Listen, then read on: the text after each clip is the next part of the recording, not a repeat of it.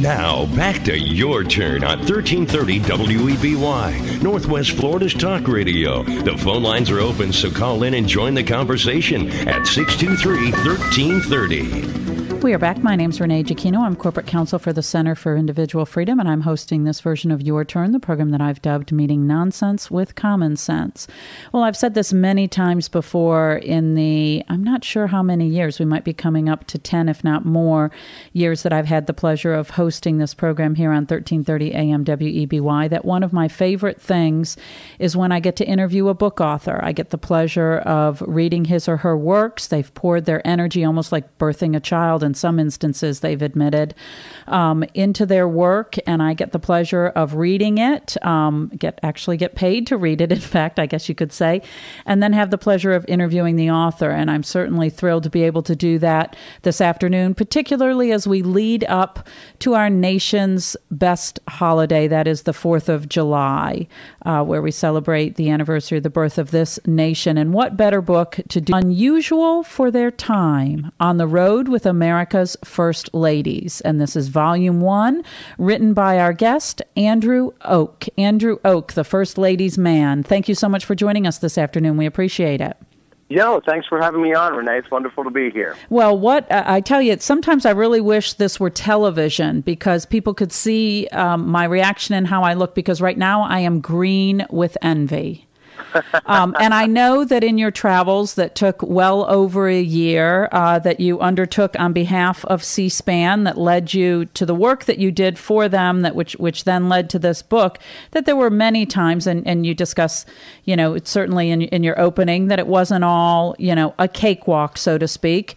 Uh, but I am green with envy that you had the opportunity to do this. So before we start talking about the the book in more specifics um, let me ask did, it sounds like this just sort of fell into your lap. It's not something you went out in search of, this project. And, and by I say project, let me back up and ask you to please explain to the listeners um, what preceded you actually writing this book, the work that you did as a producer. Yeah, certainly. I, and, and I did. I just kind of fell backwards into it. I was born and raised uh, around Washington, D.C., so I've always had history and American history and museums and stuff at my fingertips, uh, being raised and schooled here. But it was never a passion. It wasn't. I wasn't a history major. I didn't focus my television or or film production in that area. I dabbled in it here and there when the when the project came up. But C-SPAN, a friend of mine there, had approached me about the First Ladies project, and so I joined the team. And the series was called First Ladies Influence and Image. And what attracted me to the project was that we were telling stories that hadn't been told.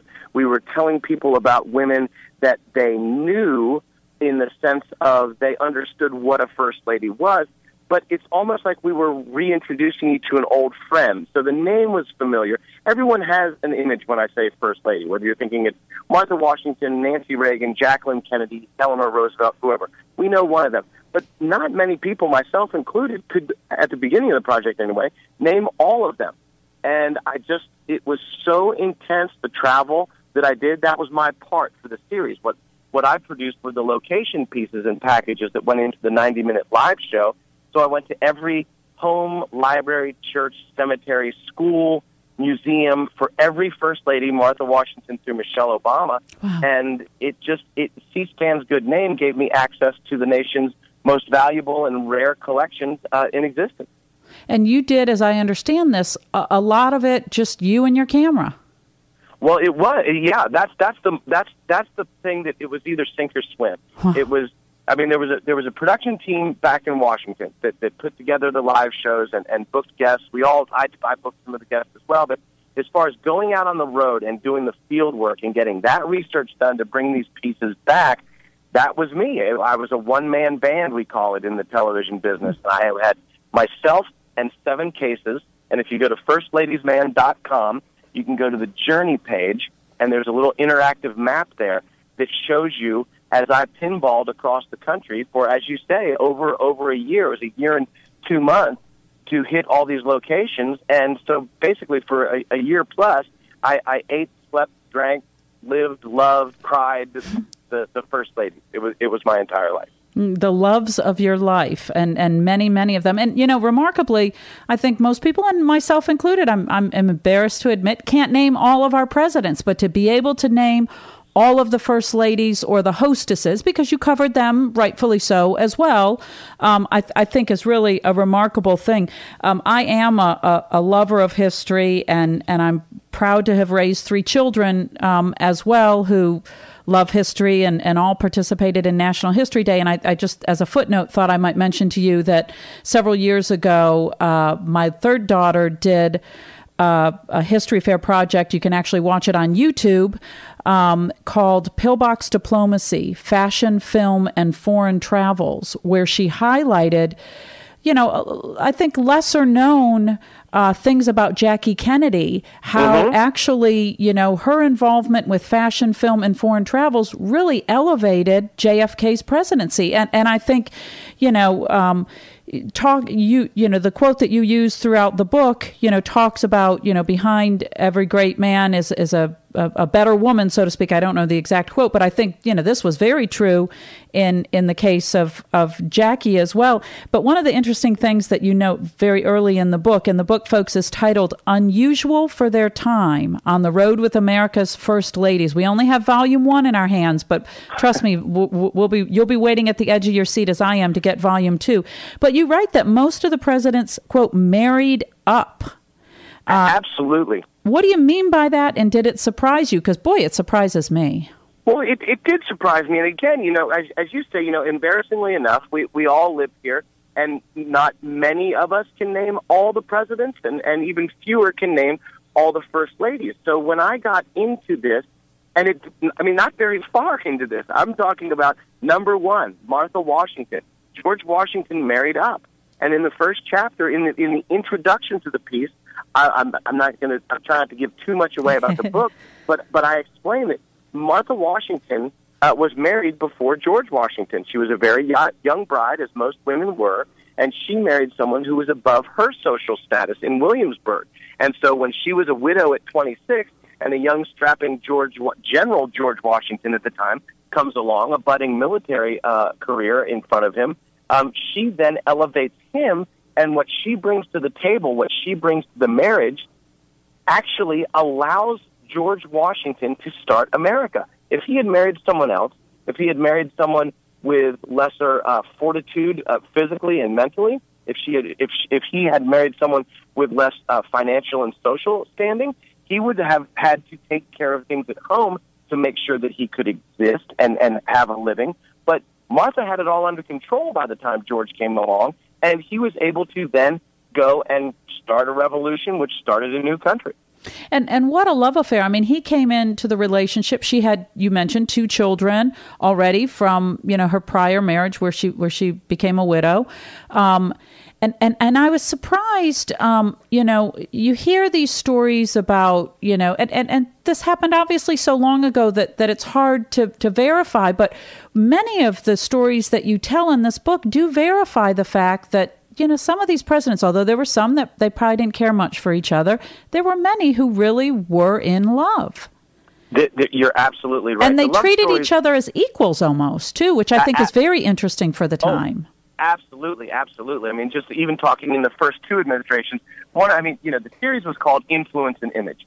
So image is pretty easy. We've all got an image of what our first lady, whoever, as I mentioned, you know, Nancy Reagan, Martha Washington, whoever it is, um, uh, you know, that's in your in your mind. And then when we think of first ladies, we think of jewelry, we think of dresses, we think of uh, plates, you know, the, the White House china, things like that. But the influence part, how do you show influence on camera? Well, it was very easy to do for, with administration number two, Abigail Adams.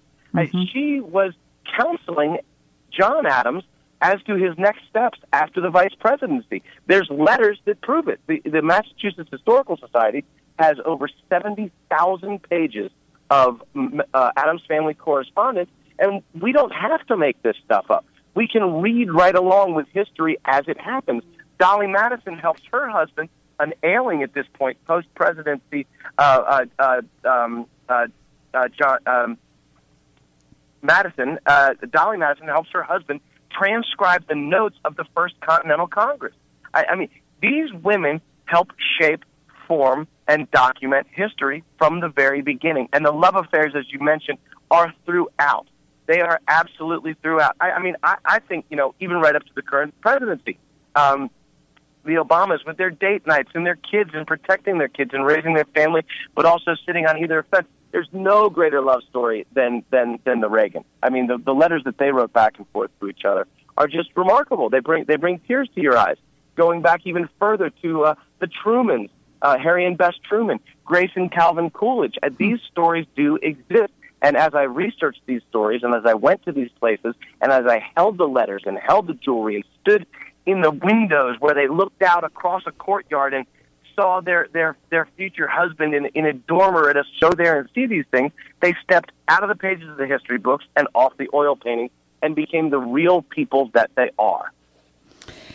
Interestingly, the Abigail Adams. I mean, I think you know folks who you know are familiar with Abigail Adams and the and the significant influence that she had. In fact, perhaps you know the, the in my mind, you know, when I think of uh, of a first lady who had significant influence, it, it you know it is Abigail Adams. But I think of you know her remembering the ladies' letters. Sure. You know that a lot of a lot of you know has been written a lot about. But but interestingly, I, I was unaware of you know the in her letters where she basically, as you said, told her husband don't come home as vice president. If you're going to come home, you come home either as president or you don't, or you just come home. Renee, it's like you you really did read the book. Not that I doubted you, but I mean, you really, really took it in. I mean, that's that's that's in, in almost every uh, live speech I give because it's so remarkable. Everyone always says Abigail Adams. Remember the ladies. Remember the ladies. Right. And that's even a small, significant part of a much bigger letter where she's proving other points. But she just says basically, without the ladies behind you, you won't succeed. So in the 1700s, Abigail Adams is telling her husband, like, you know, it, it's fine that the that the men are all out starting this government and the men are voting and the men are hunting and gathering and doing all the stuff that colonial men did. But if they come home and the wife isn't happy with them, it's not going to happen. And and you're you're exactly right about the vice presidency.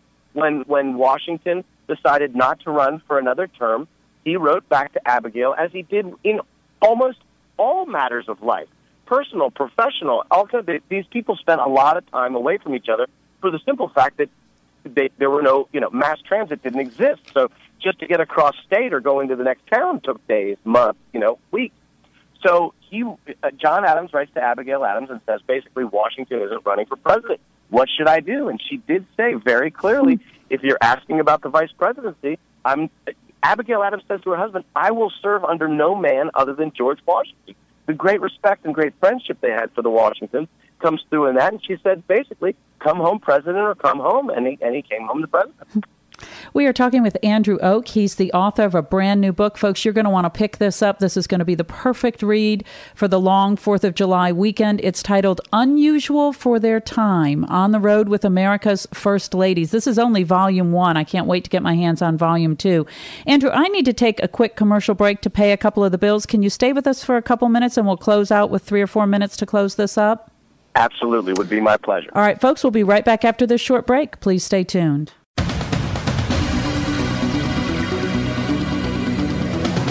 Now, back to your turn on 1330 WEBY, Northwest Florida's Talk Radio. The phone lines are open, so call in and join the conversation at 623 1330. We are talking with Andrew Och, Andy Och. He's the first ladies' man, and he gets that title because he's the author of the book Unusual for Their Time On the Road with America's First Ladies. This is volume one that's hot off the press. I think, in fact, Andrew, if I'm right, if folks go to firstladiesman.com, can they get a signed edition? Did I see that? Absolutely. We've got hardback, we've got paperback on the store page at firstladiesman.com. You can also trace my adventure. I've got videos on there. There's a link to the series that that, uh, that I did with the team at C-SPAN. There's all kinds of stuff. It's a lot of fun.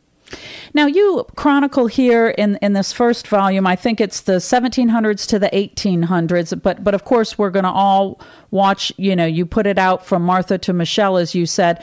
And, and, and this, the title, Unusual for Their Time, these ladies were, in fact, unusual for their time, each in their own time.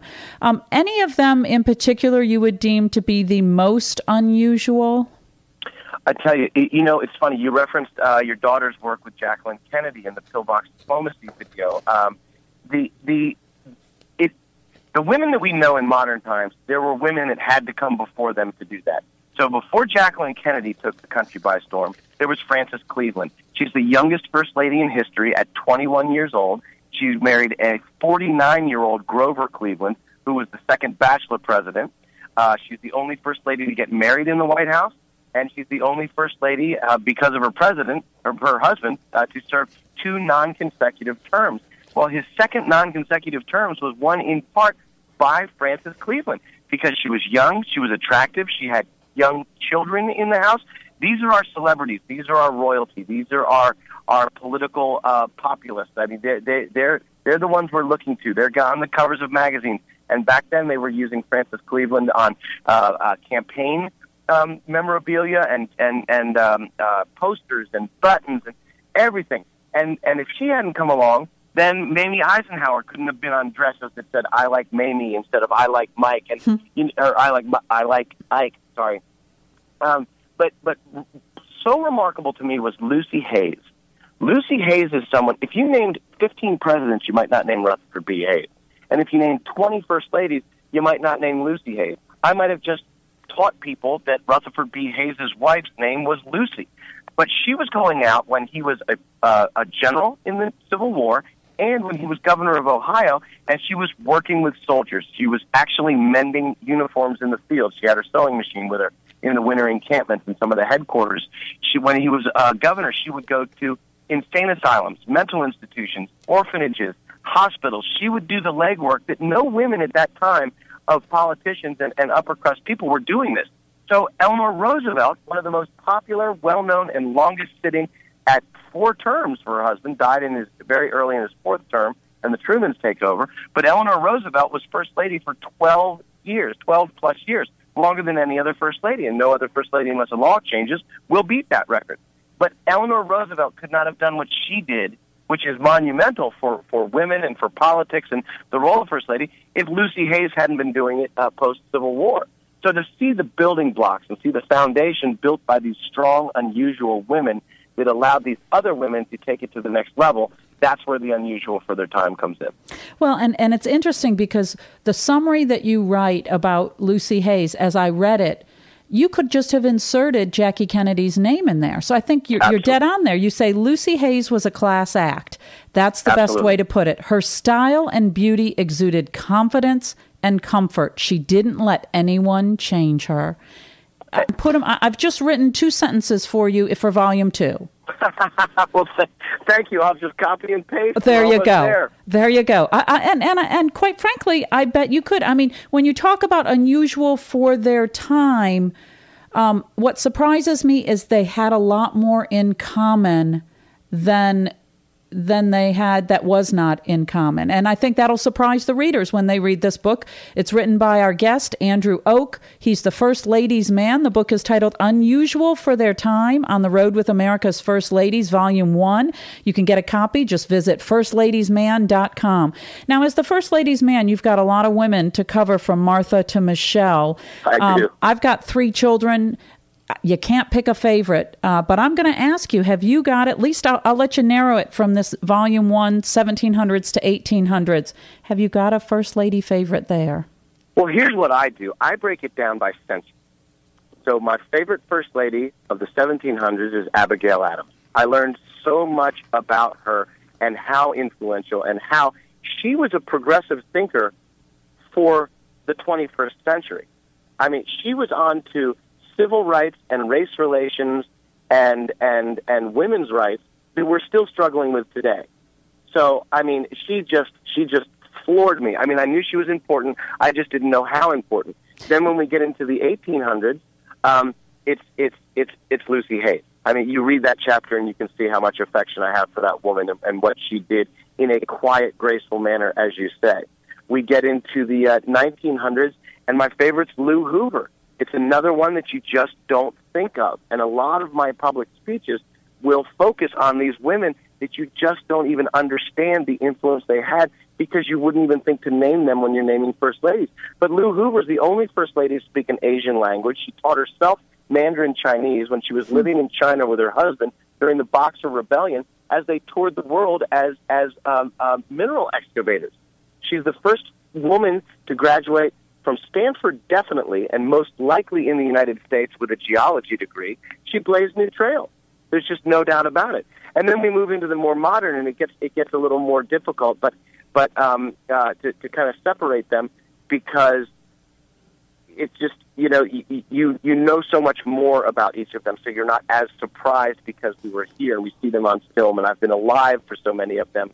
But I, I mean, you cannot help but be attracted to Nancy Reagan and Ronald Reagan for the love affair, for the Hollywood romance story that was so true and so pure between the two, and then the just tragedy of losing him to Alzheimer's, where I, I just it, there's two women that I speak about publicly that I have a tough time not getting choked up.